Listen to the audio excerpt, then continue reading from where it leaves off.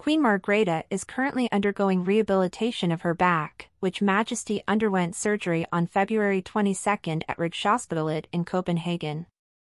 A March 2 press release from the royal family's communications department said that the Queen had been discharged from Rigshospitalet and that the Queen remains at Amalienborg, and that a course of rehabilitation will be offered next the royal family's communications department, was told that nothing new could be added about the Queen's situation, and new is good news, which is how to interpret the answer, from which it follows that everything is going according to plan.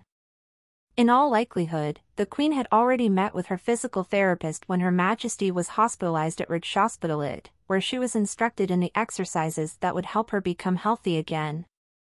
While at home at Christian IX's palace in Amalienborg, the Queen is likely to exercise daily for the next few weeks.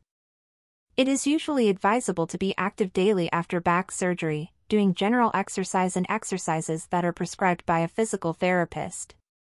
An exercise program should be performed to strengthen and maintain muscle function. Queen Margrethe turns 83 on Sunday, April 16, and all Danes hope to see the Queen in good shape on her big and festive day.